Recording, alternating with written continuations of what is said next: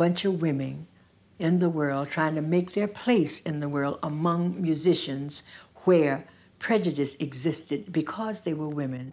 The rocking chair to rock, a rubber ball to roll, takes a long, tall daddy to satisfy my soul. Baby rocks me with that steady roll. My baby rocks me with that steady roll. Just playing and just just tearing the shoot out and going outside and have them standing in line at the Howard. They'd be standing all around the corner whenever we played. Yeah. When we played our theme song and the curtain would go up, the audiences would just get out of their seats and dance in the aisles, and they would cheer us as though they were cheering for the Brooklyn Dodgers.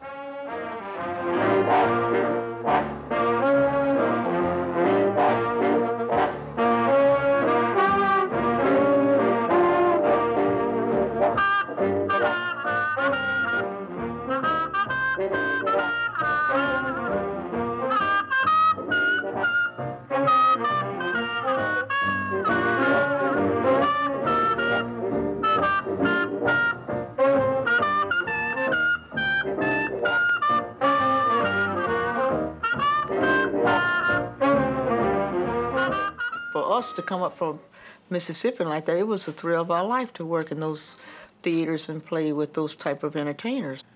because this was a school band. It originated at Piney Woods School in Piney Woods, Mississippi.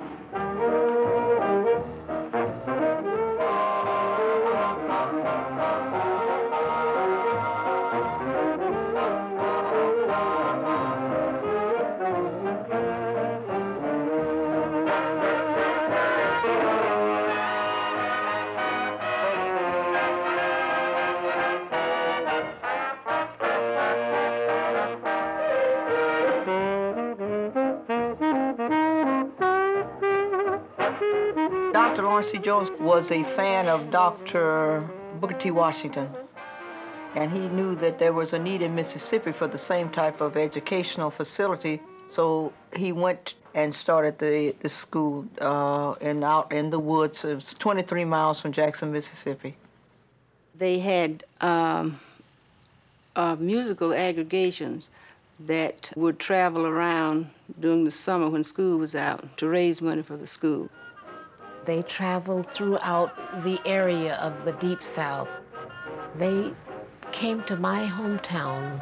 The International Sweethearts of Rhythm uh, were brought there by Mr. Peake, W.I. Peake, who was the mortician, and most black people looked up to him then.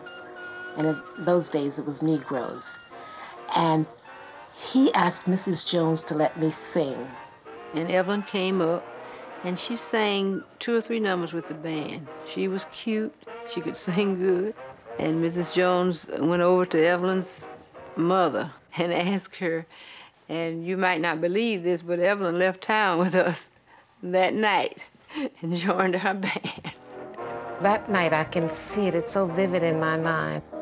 When she came to the door with the lamp in her hand, because we had no electricity, and we were just coming out of the Depression, you know, and there weren't many blacks that had electricity. When I first became a sweetheart of rhythm, we weren't allowed any place without a chaperone.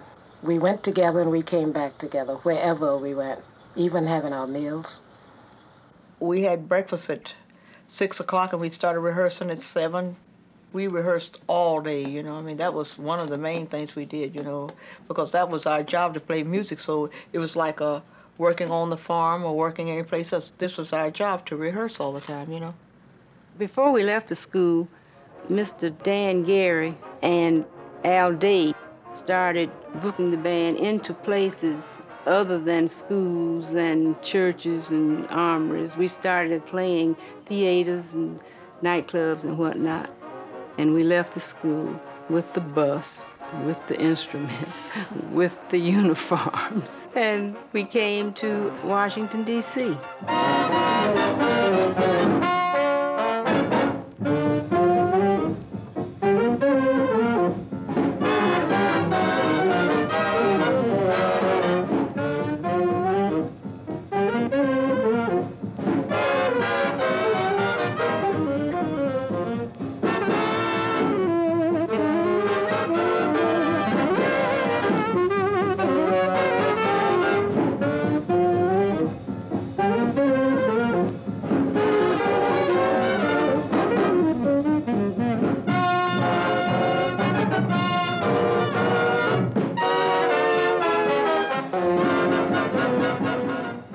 I had been directing a professional male orchestra. And of course, the draft board had taken a lot of my men. And when I first joined the International Sweethearts, I said, what a bunch of cute little girls, but I don't know whether I could get along with that many women or not.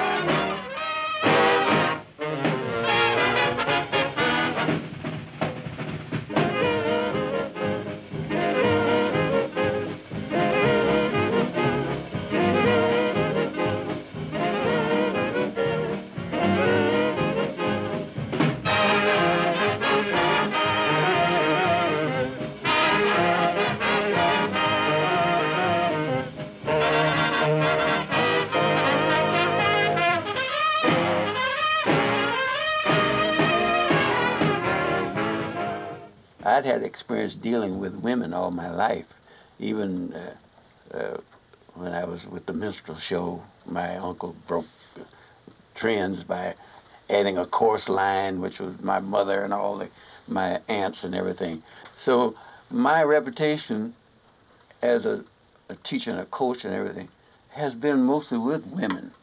I've uh, I was with other girl bands before I was with the Sweethearts Rhythm and I heard them advertise they wanted a, a girl trumpet player. I wrote to Miss Jones, and she said, okay. And she sent me a ticket and a little change, and she met me down to the station in Chicago. Picked me up at the station and took me over to the Grand Hotel, 51st and King Drive. And I met all those beautiful sweethearts all those yellow and white and pretty gals, and I enjoyed it. And I went in there and started trying to blow that horn. By having these more experienced musicians in that made them blow harder. I was a very well trained musician, and I had a good classical background, so I could read anything. Um, and I thought it was great. But then when I joined this band, many girls had problems reading because they had learned their instruments the hard way. It was just put in their hands, and it was like now or never. You learn it fast and play. But what they had was a, a, a relaxed uh, way of, of, of approaching the music. Their, their beat was different from our more uptight white rhythm the dance arranging was all based on black music, black interpretation. The early bands were all black bands. The white bands used black arrangers, most of them. I also did some things for Phil, uh, Phil. And uh, in order to get the, the rhythmic feelings and whatnot, they depended upon guys like Fletcher Henderson and, and Don Redman. And, uh, we did most of the arranging for the, the white guys. And now the Melody Swing, a number written especially for our orchestra.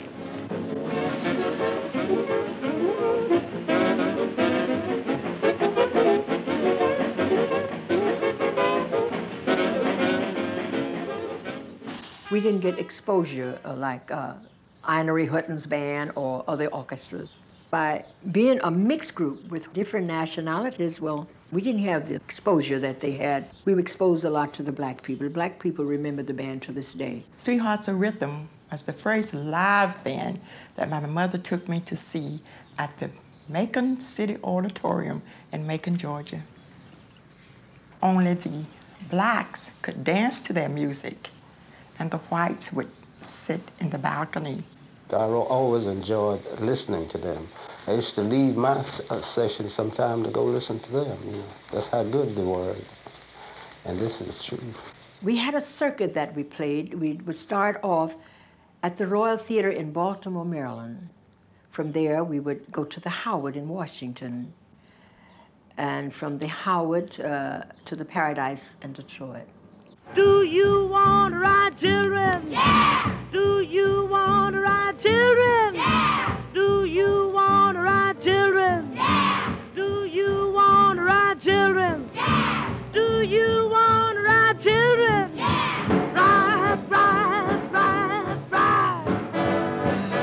We traveled on a sleeper bus, and I had the top bunk through most of the Midwest.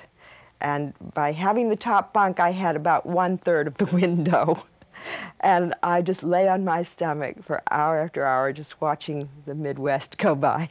We switched roommates about every three months so that you didn't form any cliques, you didn't form any real tight one on one relationships. When we went to any of the hometowns where the musicians lived, we'd always stay at their family's residence and they would fix dinner for us and things like that.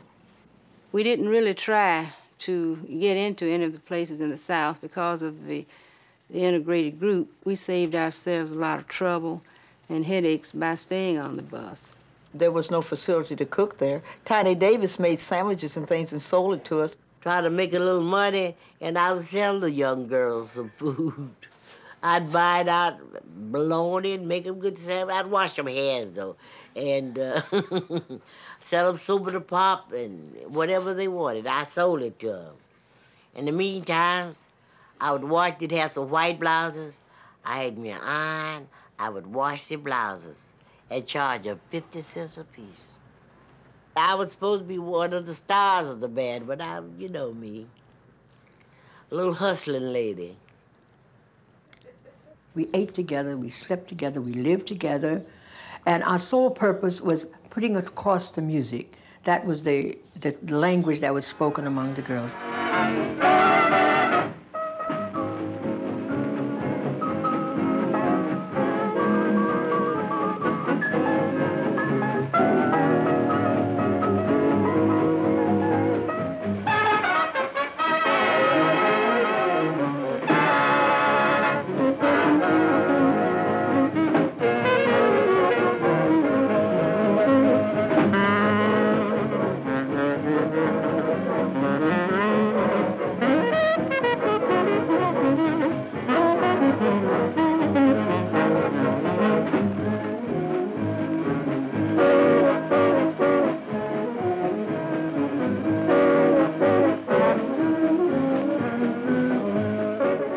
This was the way I was going to live.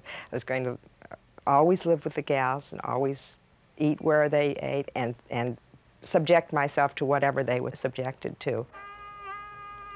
We had these white girls that was traveling with us. We had about three or four, and they would paint their faces dark in order to, to play, you know, so the police wouldn't come and take them off the stand or they wouldn't be arrested. It was absolutely necessary that I pass as black, or at least attempt to all the time. Tried uh, using ma different makeup and, and uh, turned my skin orange. I mean, I never came out right. We tried tight permanents, and I always looked very freakish and not quite right. but we tried everything we could. and most of the time, I just ended up by hiding. Somebody reported it to the authorities that we had white people in the band. We had heard that some sheriffs were nosing around the bus and they had a feeling or they knew or somehow or other they heard that there were some white women. We had to slip them out of the back door of the bus before the police came to search the bus to see if we had white girls in it. So we put them in a black cab. Cab driver, he was frightened. He didn't want to even drive the girls. Nobody thought to take anything, enough money, or you know, just just running out of this bus, three of us, we had to lie on the floor of the cab, and this poor little frightened cab driver raced across town and got us to the train station. Helen Saine wasn't white. She was mulatto. She was part white. But they always took the mulatto ones to be the whites. They get them all mixed up. We went to the station, and we were automatically ushered onto the white car on the train. So we just went in and sat down. And so it was simpler for a lot of blacks who were who did look white or were part white or mostly white for to just go along and uh, go along in, with the program. We ran into many little incidents like that, you know, uh, in the South, but uh, that didn't stop us. We had the gall to do this in the South, in the Deep South. We didn't like uh, people calling us a novelty band because we we were working hard, we were practicing hard, and we considered ourselves the same as, as male musicians. We put in the time, we put in the hours, and we didn't consider ourselves a novelty band. When you're talking about the Sweethearts of Rhythm, you're talking about a band back there then that really was a novelty because women really didn't go into that business. Well, they said things like they're okay, that's okay for a woman, you know, that's, they're playing okay for girls. They had a young lady there playing drums. Her name was Pauline. What a drummer. She played drums like a man. They seemed to uh, think that uh, if, I suppose, if we were boys, we would sound better. I don't know. Of course, now, they didn't have the power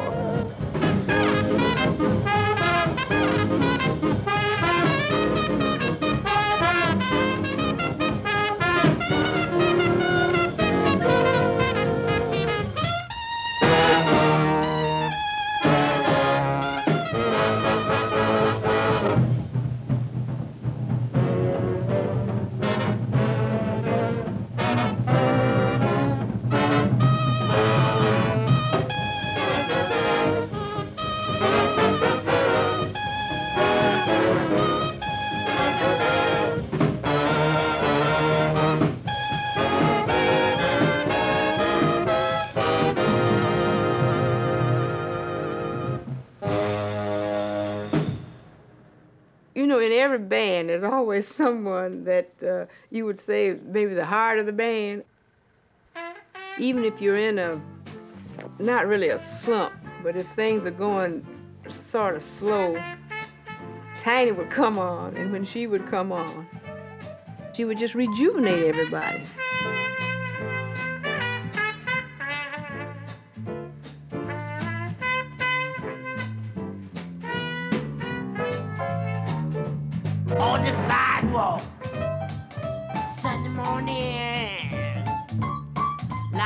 Body. Lose your life. Someone sneaking round, round the corner. Hello, say. Ah, oh, Mac the dime.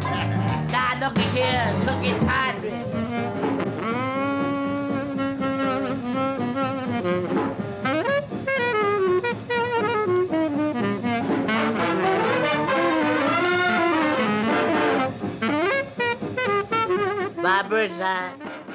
Yes, she was great, one of the greatest.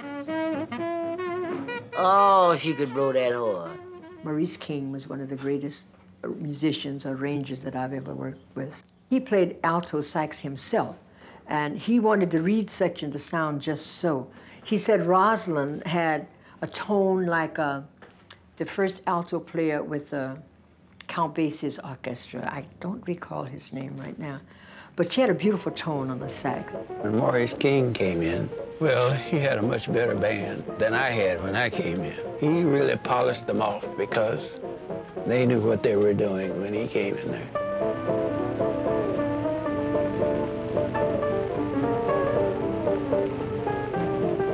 You name them, we met them. We met Joe Louis, and we met Erskine Hawkins. He had just made Tuxedo Junction and Billie Holiday and the entertainers that really were top notch. Louis Armstrong was one of our very dearest friends, you know.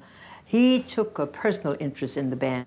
And so did Count Basie. Count Basie was the same way. They would come and stand in the wings at the Apollo Theater and listen to the band. They'd get a big bang. I'd see them standing back there smiling when they'd hear the girls take off on their instruments. Louis Armstrong came to hear us, and he uh, tried his best to get Tiny to uh, quit our group and go with him, and he offered her about five or ten times the salary she was making with the Sweethearts of Rhythm. Why didn't you go? Well, I love them gals too much. What? Love them gals too much. They were some sweet gals, you know. I liked them. We were like sisters. We just loved one another. There were some you liked better than others. Um, but as a whole, we just seemed to mesh. I think it was because we enjoyed playing so much and we knew we sounded so great. We played a battle of music against them at the Savoy Ballroom in Harlem in 1941. It was like sports. You know, she was trying to outplay me, and I was out trying to outplay her. Pauline Brady was the drummer, and she kept what I would say she knitted the rhythm section together. Whenever we would appear in the theater, we weren't just playing our own music. We had to play the act's music. And we worked the Paradise Theater with Ella Fitzgerald. She told her agent, I don't think those girls can play my music. I don't think they can cut my repertoire. So we rehearsed, and uh, the show went off very smoothly. And from then on, uh, she got to be a very good friend. New York, the Apollo, that's where we tore them up. We used to see them at the Apollo Theater in Harlem, and they were great. They used to have the band, the balcony jumping, the orchestra rocking, sometimes people running up and down the aisles. And the mob of people trying to get in to see the Sweethearts of Rhythm.